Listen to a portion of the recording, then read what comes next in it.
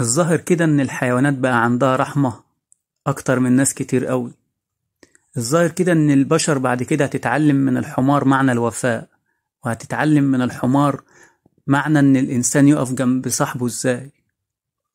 بنضرب المثل بالحمار دايما لما بنلاقي حد ما بيفهمش بنقول له أنت حمار.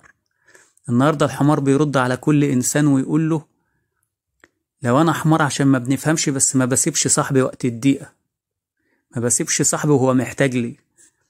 ما بشوفش صاحبي واقع على الأرض وأسيبه وأمشي.